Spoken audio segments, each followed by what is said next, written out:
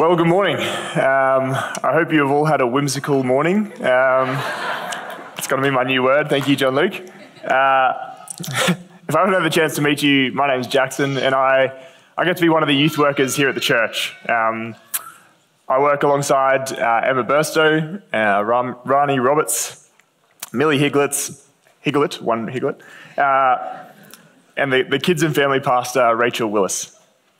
Uh, and together we, we have the privilege of experiencing the, the chaos that you guys have experienced this morning each and every week. Uh, and it is a joy and it is a privilege. Uh, I've had the chance uh, to be part of HumeRidge uh, for many years. Um, back to the time when I was one of the kids up on stage staring off into space uh, or doing the actions half a beat too late. So I've been a part of a, a lot of family services.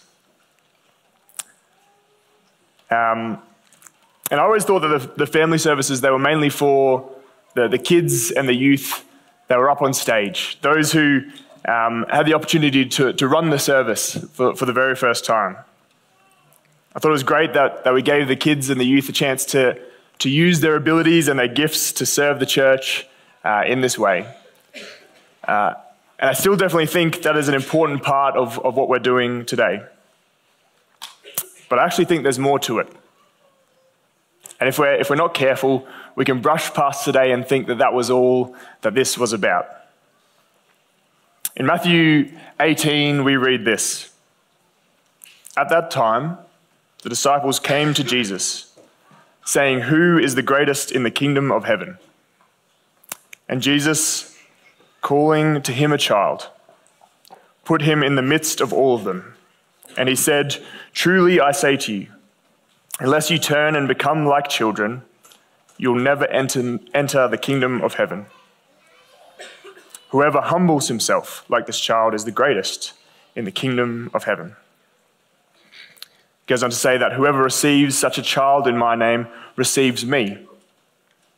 But whoever causes one of these little ones who believes in me to sin, it would be better for him to have a great millstone fastened around his neck and to be drowned in the depths of the sea. It's quite a, quite a light way to finish the passage today. Um, but these verses, I think they show us a few really important things. Firstly, let's address the, the, uh, the verse 5 and 6. Because here we see that, that children really matter to Jesus. They are important in his sight. They have incredible value. And we see this in both the instruction and the warning. The instruction to his followers is this that the one who, who receives such a child, who, who accepts such a child, who cares for one, who loves for one of these little ones, does so to him. So closely does our God identify with and, and care about those in our society who could so easily be overlooked or mistreated. So much does he care about them that he wants his people to do the same. The heart of Christ is deeply affected by children. And if you're ever not sure about that, reread verse 6. Because it says, Whoever causes one of these little ones to sin, it would be better for him to have a great millstone tied around his neck and drowned in the depths of the sea. And I actually believe him. Maybe this should be part of our Handle with Care series. Maybe we should just do a, a little bit on that. But the heart of Christ, it is, it is deeply affected by children. And one day he will judge the living and the dead. So hear his warning and heed his instruction. The second thing that we see in this passage is this. Throughout the Gospels, uh, again and again, uh, when it comes to the, the kingdom of God, the descriptions of the kingdom of God, Jesus, he, he regularly flips our expectations on, on the head, on their head. He completely inverts the normal way of doing things.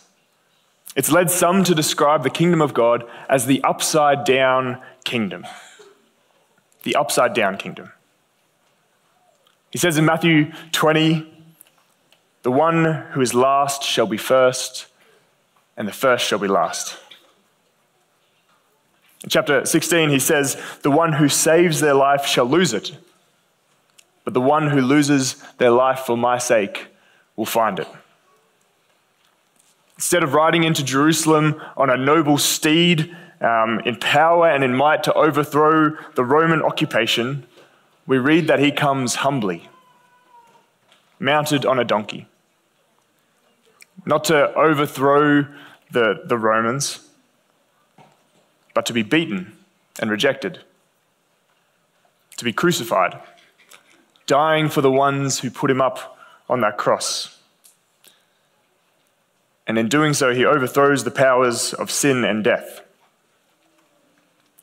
And so here we come in this passage again uh, to an insight into this upside down kingdom.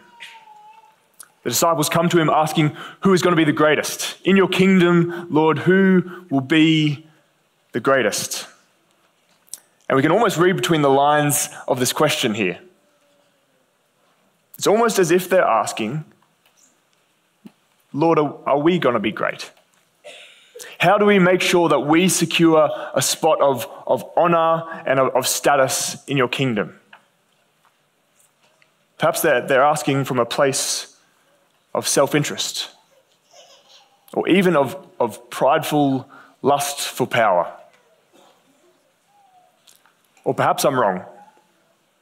Perhaps the question is, is asked with pure intentions. They're really trying to figure out which of the great saints is going to be up there uh, and is going to be honored. Is it Moses or, or Elijah, Abraham or, or David? But in the end, it doesn't really matter what their intention is because instead of giving a, a list of accomplishments or achievements, instead of talking about family lines or, or nobility, stature or wisdom, Jesus calls to him a small child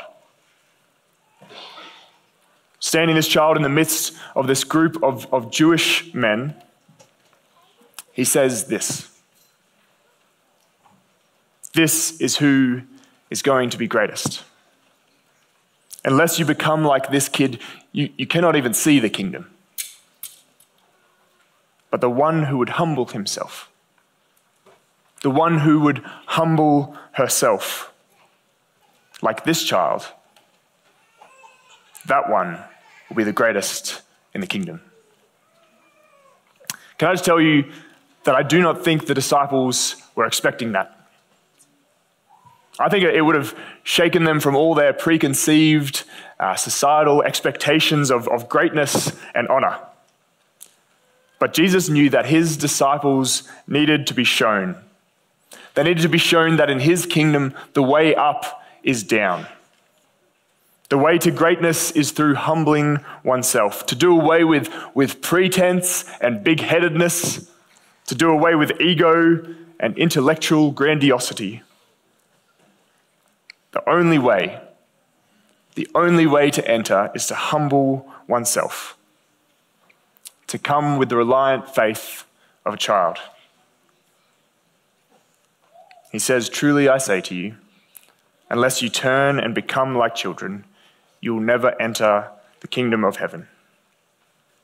Whoever humbles himself like this child is the greatest in the kingdom of heaven. You see, I, I, used to think that the family services were for the kids and the youth up here. But now I think it might be for us. Those of us who have been around a little bit longer, those who might have a little bit more knowledge greater theological understanding, those who might think ourselves a little wiser. Perhaps today Christ has brought before your eyes these kids and these youth to remind you that this, this is all that is required. Not your gifts, not your power, not your wisdom, not your influence, but a sincere faith and a, and a wholehearted trust of one of his little ones. As a church, I think we really need our kids and our youth to shake us from all of our preconceived societal expectations of greatness and honor. We need to be reminded of what it's like to be a child, to trust in God like they do. We need to be reminded of the, the tenacious questioning of a teenager's faith as they grapple and wrestle with ideas and concepts that I have long left untouched. Today, I feel like God might be calling us to do away with our pride and with our arrogance and with our adult sense of self sufficiency,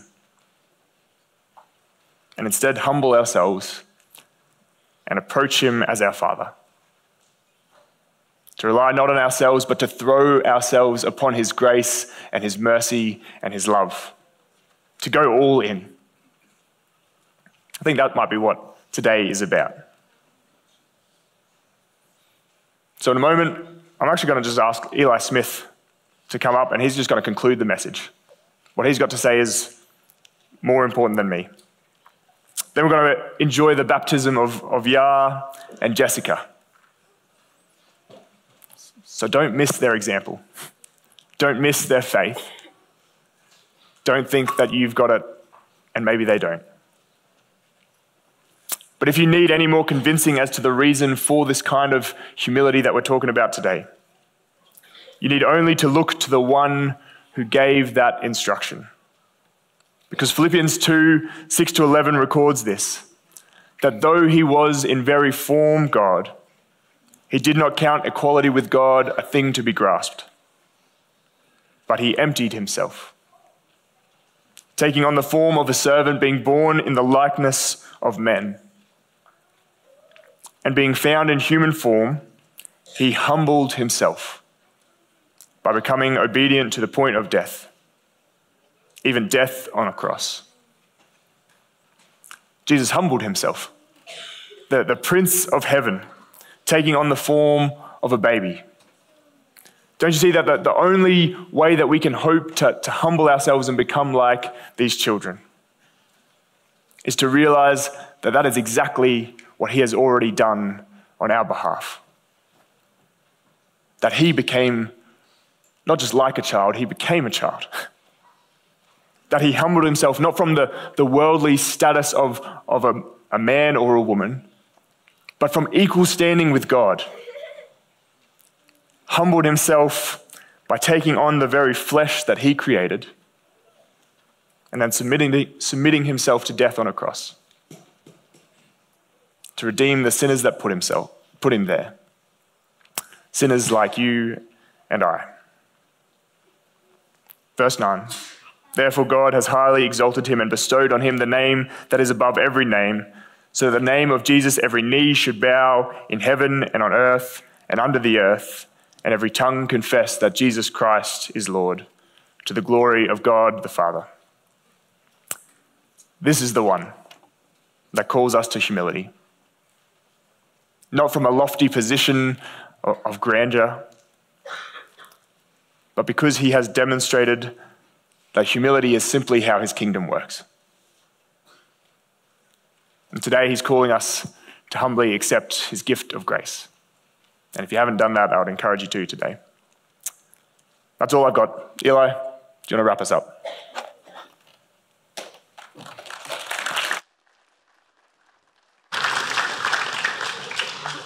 This term at Youth Church, we've been looking at big questions such as why church and why Jesus.